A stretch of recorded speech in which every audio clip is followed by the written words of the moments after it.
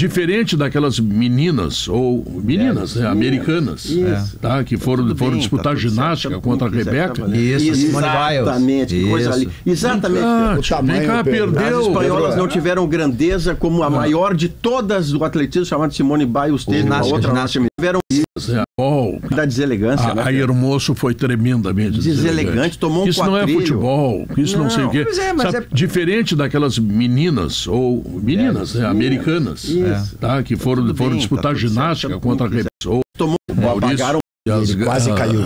As mulheres espanholas, para concordar com o Maurício. Pagaram, pagaram o vale A- da deselegância, A, né? a Hermoso foi tremendamente Deselegante, tomou um Isso não é futebol, isso não, sei o quê. Pois é, mas Sabe, é- Diferente daquelas meninas, ou meninas, né, americanas, Isso. tá, que foram, Tudo foram bem, disputar tá ginástica certo, contra a tá certo, Rebeca. tá. Isso, Simone Biles. Exatamente, que coisa Isso. ali. Exatamente. Ah. O tamanho, cá, Pedro. As perdeu. espanholas não é. tiveram grandeza como a maior de todas do atletismo, chamada Simone Biles, teve. A Ginástica, outra ginástica. norte-americana, da Ginástica. ginástica, né? Da ginástica, não do atletismo. E, e ela, e ela fez a reverência sabendo do seu próprio tamanho. Essa espanhola que falou essa bobagem, não soube perder, tomou um quatrilho, pagou vale. Aí a, a imprensa da Espanha está chamando de desastre, cobrindo de porrada, o que também é demasiado. Mas me surpreendeu que as espanholas, na figura desta, não souberam perder. Pedro, quando você toma quatro. Fica pianinho. É, fica e quieto. mais, o, o, o- o segundo gol da Espanha só sai porque aquela árbitra, por alguma razão que eu completamente não alcanço o, o sentido, botou 17 de acréscimo. É impressionante. 17 de acréscimo é outro jogo, Pedro. Foi É. quando entrou o, eu- segundo gol O da, da tamanho, Espanha. nome do o que é, tamanho, o tamanho das pessoas, eh, Diogo, a gente vê na derrota.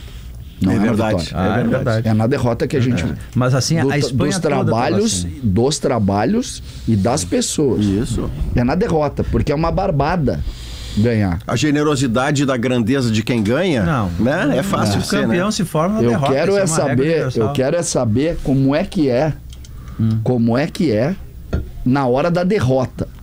Quando a pancada vem e tu diz o seguinte, ó, tem que respirar e preciso responder. É aí que tu vê a grandeza. Ah, o nome disso foi soberbo, porque a Espanha, campeã mundial, ela já, já ganhou, já se classificou para a semifinal eh, com dificuldade diante da Colômbia Nos pênaltis, né? nos pênaltis. Assim, e o que, que a Colômbia fez? A mesma coisa que o Brasil. Marcou alto, porque é um time que sai jogando de trás, e o Brasil decidiu fazer isso. O Brasil jogou com três zagueiras e três jogadoras na frente, três atacantes. Pegou a Ludmilla, que é atacante, botou de lateral direita de ala e pressionou na frente sempre com quatro. E aí foi. Tanto que o Impressionante segundo- a velocidade primeiro dessa gol do mulher. Brasil é a Priscila aqui, do, do Inter.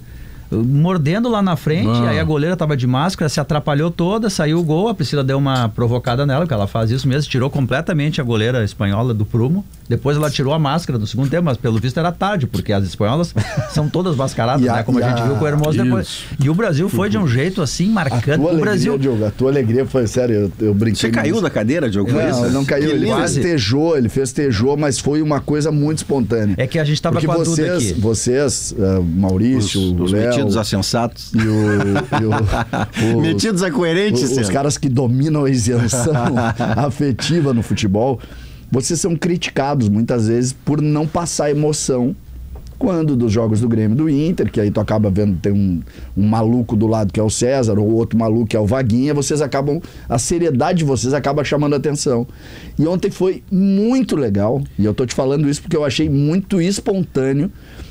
É verdade que tu quase caiu da cadeira, que seria, teria sido genial aqui. Desequilibrei. Eu vi, não, desequilibrou É fui eu, que assim, desequilibrei tava agora a- parado. Tava aqui a Duda. Continuamos essa vida? Inclu Tava aqui a estou desequilibrado. Estamos no A, a labirinto. Duda tava aqui, tu tinha ali a, a Lorena, goleira do Grêmio, um absurdo que, Que aquela loucura, goleira. né? Nossa senhora. Ela cara. joga outro jogo em relação Não, a a, a Priscila do Inter entrou super bem, mas a Duda, que estava comentando o jogo, aquilo, ela se emocionava a cada lance, porque assim, ela. aquilo ali é uma redenção para ela, porque houve um tempo que ninguém queria fazer futebol feminino, ela batia lá no- na porta do Beira Rio, pô, vamos fazer um A time, vamos Duda- fazer um time. Não tem com quem jogar, mas eu arrumo com quem jogar. Então, para ela é história- importante imagina isso. a né? história da Duda, né? Eu, eu vi isso também, me chamou a atenção. Hein, Léo? A Duda. A Duda mora. Eu, eu, eu, eu nasci na Vila Assunção e fui pro Jardim Isabel, que é um pouco mais ao sul, né? Antes de Ipanema. E ali eu fui com seis anos de idade. E aí tinham duas praças e a gente jogava. E tinha uma menina que jogava, que era a Duda. E ela era a única menina que jogava. E ela muitas vezes pedia pra jogar. Nós estamos falando de meninos ali. 10, Estou 12, falando 13. de 81, 82. Exatamente. 4. Isso, exatamente. E ela jogava com os meninos e ela era a única. E era muito preconceito. Até vou, Bah, é não entre os não entre os, os, os meninos que jogavam não tinha preconceito, até porque era meio nos ajuda, vai pro gol, sabe aquelas coisas. E ela ela jogava ali na Morano Calabro, onde ela morava, que era nessa rua, que é paralela a Arlindo Pasqualini, não sei se vocês conhecem ali É, na Zona Zona Sul, Sul. lá. Sim. E, e tinha uma pracinha ali. E ali ela jogava. Sozinha. Aí tu vê a construção desse período, Duda. A Duda tem.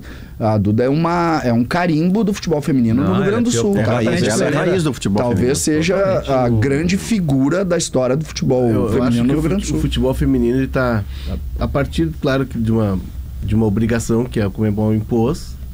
Depois a CBF segue.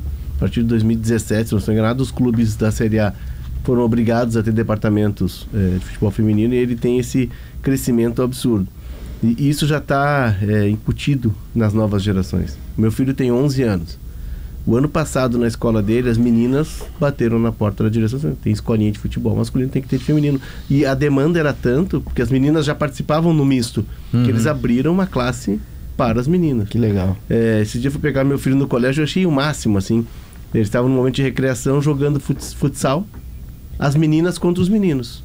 E jogando de igual para igual, com muito respeito, os meninos e as meninas se respeitando muito, mas jogando futebol, o time das meninas contra os meninos. E conversando com ele esses dias, ele né, fissurado futebol, e ele escalou o time dele na sala. Nós temos um time na sala. E ele colocou a Ana, que é uma colega dele que joga muito bem, joga inclusive na escolinha do, do Real Madrid. É, e ele colocou a Aninha. Ou seja, aquele preconceito que tinha ali atrás, ele se apagou, ele não Mas é existe. só- só- elas só- jogam junto, Ele é eles jogam junto com os meninos, elas partilham do mesmo espaço, é O muito preconceito legal. não era, não era dos, dos meninos que jogavam, entendeu? Eles, el- ela sempre tinha entrada com os meninos, nunca, nunca tiravam porque era A menina. criança não tem é dos isso, né? pais mais, a geração dos Cri- pais que olhava como tem. uma menina É, jogando. é. As crianças não têm esse preconceito, Não, não quem tem tem. são os adultos, E, mas eu, enfim. eu um dia fui criança, um negócio maluco. É. Faz tempo. É, Mas enfim, esse Eu- mas é- você sabe que eu tenho a mesma sensação de que eu já nasci com 60. É.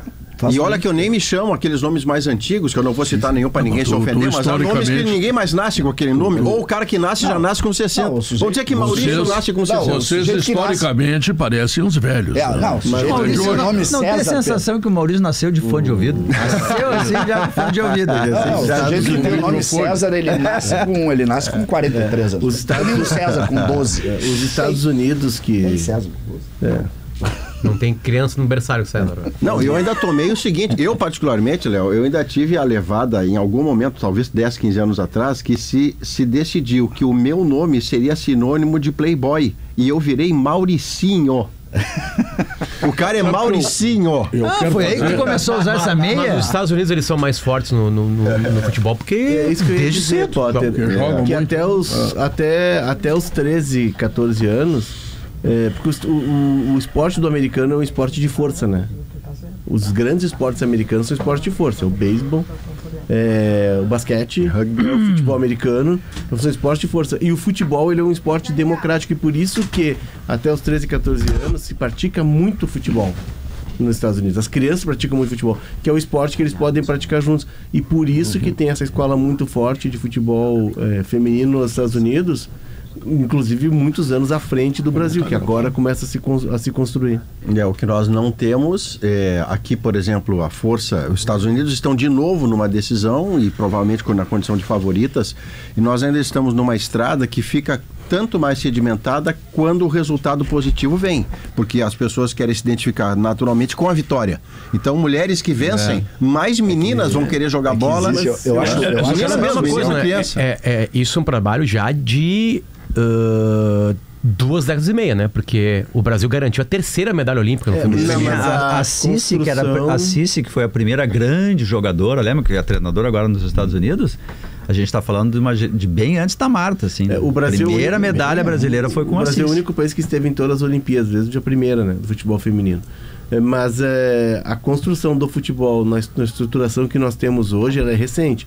Aquelas jogadoras ah, daquela geração, né, ah, da Formiga, da Cici, é, ela, é- ela eram gerações de, de batalhadoras. Elas É. jogavam pela sobrevivência. Elas usavam esses grandes eventos para chamar a atenção. Olha, aqui tem gente querendo praticar, tem mercado para isso. E felizmente de forma tardia, mas felizmente antes, antes tarde que mais tarde, isso está se construindo. Agora, nós temos a Copa do Mundo em 2027 aqui, né? É, Tá confirmada a abertura em Porto Alegre? não, Ainda não tá não. confirmado ainda. Mas Ainda Porto não. Alegre é uma das sedes É e vai ser no sedes. Beira Rio. É, o que eu É o quero é, suplicar aqui, nós temos que colocar os jogos do, do futebol feminino em horários adequados. Eu sei que a TV compra os direitos, mas é, a, a TV também não pode usar o futebol feminino para fechar grade, para tapar buraco em grade. Não pode ter um Grenal, como eu vi, eu estava lá na Espanha, sintonizei, pá, vai ter um Grenal feminino, vou ver. No- com todo respeito ao Sesc, que foi subsede da Copa do Mundo, mas com iluminação precária, com gramado precário, num horário em que ninguém consegue assistir, o Grenal. Então, assim, a modalidade ela vai ter o peso e o valor que tu der. Se tu continuar escondendo a modalidade em horários alternativos para atender a grade, para fechar a grade, e colocar sem a divulgação necessária e sem colocar nas praças adequadas, nos estádios, aí a gente vai ter dificuldade. Então, um- valorize o teu produto, que se tu valorizar o teu produto, tu vai vender bem teu produto. Tem um outro ponto que a Duda chamou a atenção ontem, que é, essa geração de agora, ela é, bebe assim dos efeitos da profissionalização no mundo do futebol. Tem muitas jogadoras que atuam fora do Brasil e que estão num nível físico, técnico diferente. O Brasil suportou o jogo incrivelmente ontem, né? É, isso se de- decorre também da liga no Brasil. Os clubes agora têm mais estrutura, mas muitas jogadoras já têm carreira de muito tempo. Fora daqui, jogam no Atlético de Madrid, jogam nos Estados Unidos, sabe? Jogam em grandes O- times, PSG. Então elas são mais profissionais e aí suportam o jogo inteiro, como aconteceu ontem. O